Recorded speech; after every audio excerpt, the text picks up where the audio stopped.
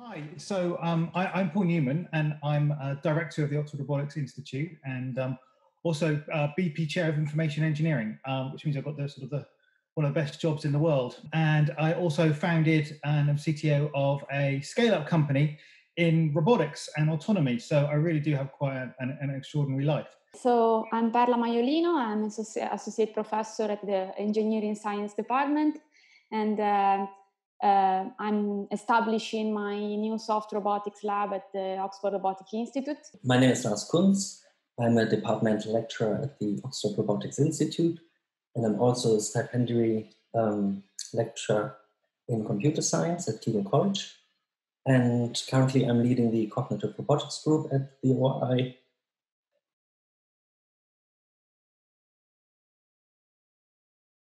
I, I think we're going to change how we make machines, right? So, um, uh, I think soft robotics is going to be huge.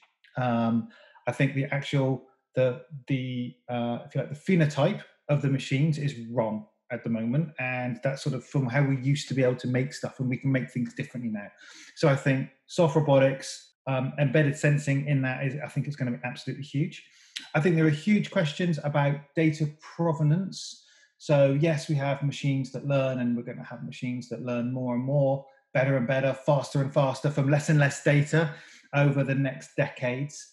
Um, but how it means those the, the, provenance of and the trust of where that learning comes from and the data that's used to teach them um, i think that's going to be a, a, big topic and i think that's not going to just just not just going to belong to, robotics as well. I think that the sensors that we use will look pathetic. The ones that we have now will look pathetic. I think the cameras will get better. Um, i think we'll have different forms of sensing um, I think right now radar is important, but I think it's going to become like cameras in time. I think we'll sort that out.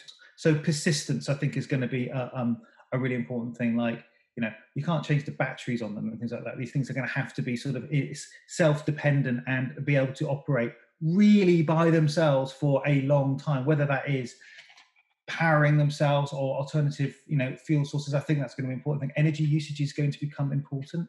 I think actuation will change and again, I think that comes into the into the soft robotics.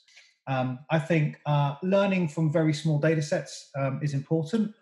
Maybe the other thing is that actually, um, uh, you know, that you don't have to start learning from scratch on all machines. So you know, if you take transfer learning to where it should really go to, uh, I think that will get quite interesting as we start to not have to reset every time we build a new machine. Um, I mean, my two big uh, passion are about uh, tactile sensing technologies and soft robotics. Tactile sensing is so sense of touch is uh, something that um, uh, humans uh, use uh, continuously to actually interact with the, with the environment. However, it's not so common in our robots. From one point of view, um, I would like to provide the robot with sense of touch because this uh, enable them to safely interact with us and uh, learn about the world. Uh, from the other point of view, I want to use robotics to better understand the biological or, uh, mechanisms that are uh, behind the, the sense of touch.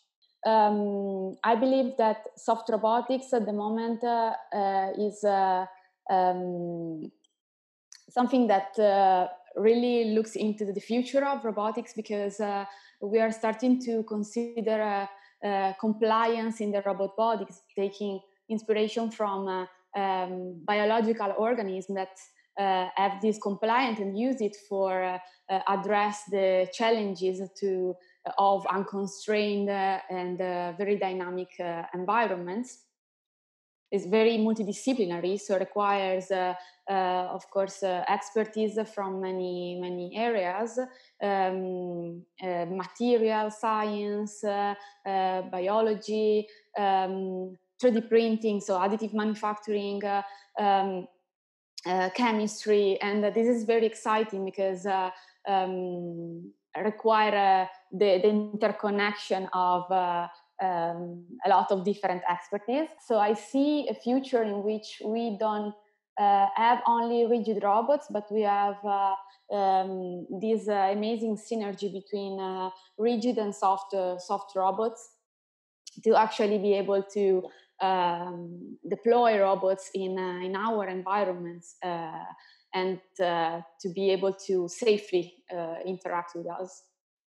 So I'm particularly excited about robots that interact with humans in meaningful ways. And um, so robot platforms are much more mature now, and they can interact with people in everyday environments.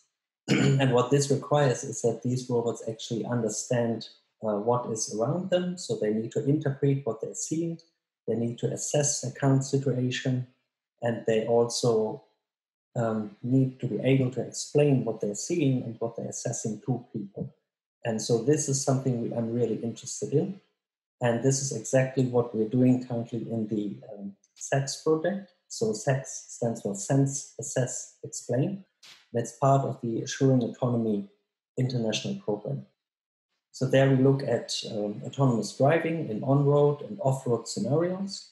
And we are particularly interested in interpreting, for example, the surface of the environment, um, then assessing, for example, the traversability of routes on these surfaces, and then trying to explain to, to passengers in the vehicle kind of which routes are feasible or infeasible because of certain reasons. So giving reason is, uh, why this is possible. So this also involves some causal reasoning, and this is what I'm particularly interested in. I'm very interested and excited about explainable autonomy. So this is really a, a long-term vision where we want to look in, into um, allowing systems to explain themselves to different types of users. Uh, this could be end users, this could be developers, but this could be also system auditors who ensure kind of the safety of the system or who do some accident investigation, for example. I think that is really something that interests me and in order to enable robots or allow them to explain themselves, they really need to have an understanding of the environment. They have a, need to have a good understanding of their own capabilities, what they can achieve in, in this environment, and they also need different reasoning methods uh, to make predictions about the future, uh, but also explain their observations. Um, and I think this requires a lot of different forms of reasoning. In particular, I'm excited about causal reasoning, where you think about, for example, what will happen if I carry out a certain action, right?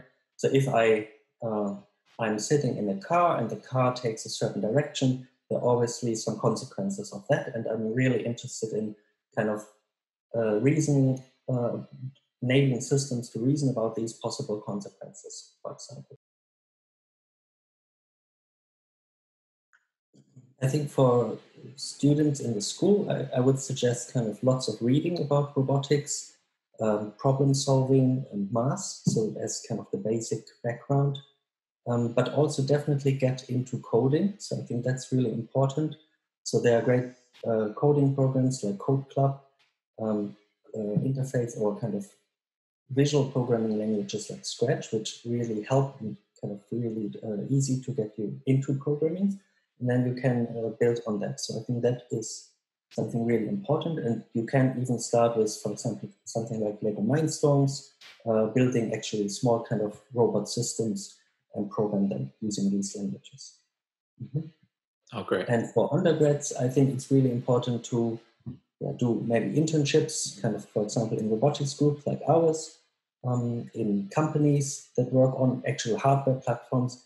And I think also if you have the chance to join a robotic club or kind of a robot team uh, that takes part in robot competition, I think that would be really helpful. For example, we at ORI have the uh, student-driven RoboCup team uh, that takes part in this uh, RoboCup competition. So I think that is really helpful trying to understand the most difficult part of robotics in terms of integration uh, of different aspects uh, of the system. For example, perception, bringing perception and action together.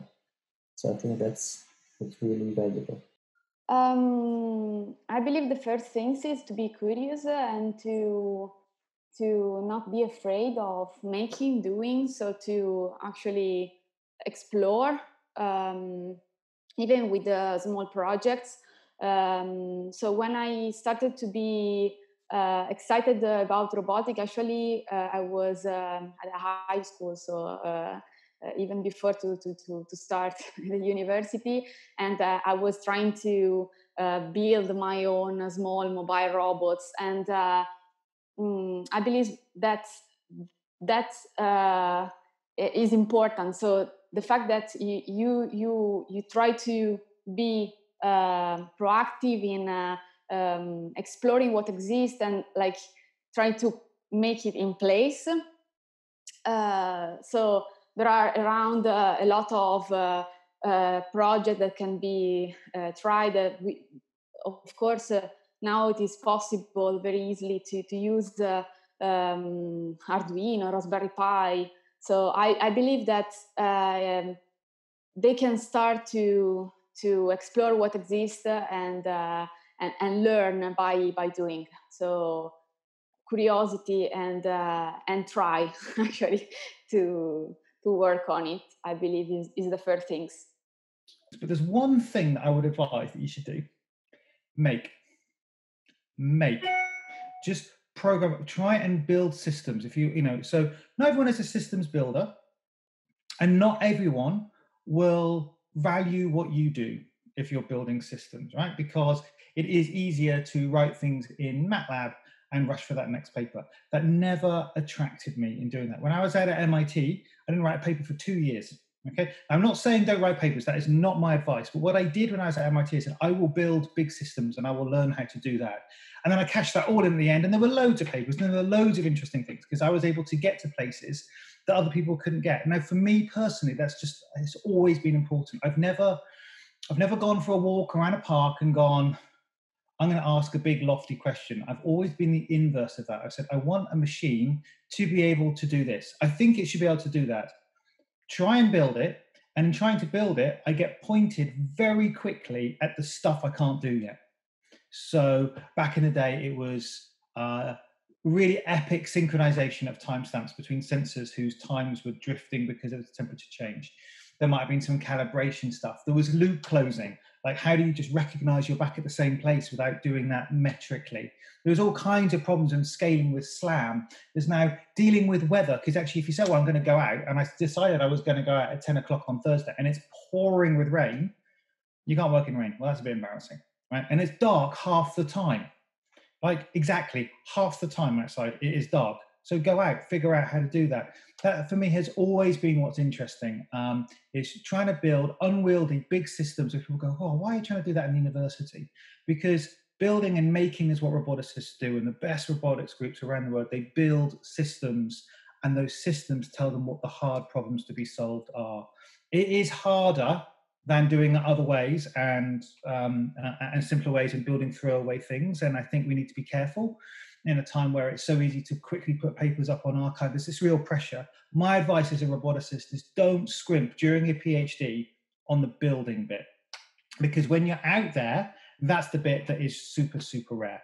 And if you're like me, it brings so much joy when you've been there, you've done the mathematics, you've done the algorithms, you've put it all together, and you've brought the whole system together, and the whole system has to fit in not much CPU. You don't have infinite CPU, and you've got to make a decision every 50 milliseconds. You just do because it's two tons of metal. But when you bring all that together and you see something moving off that weighs many, many, many, many tons or diving below the ocean and you're not going to hear from it for two hours and you have to sit there on the deck really hoping it comes back, that is an extraordinary experience. And I think, I think people that can build machines like that and learn to do that as a, as a researcher and then go on are super, super rare and you'll have a very happy life. And I'm a particular kind of engineer for doing that. But that is what I love doing. There's just nothing like writing some text files and having a big machine move off and do it. And in trying to deploy it, you will be told unequivocally actually what the big problem is. And I don't think you get the big problem by walking around a park. That's me.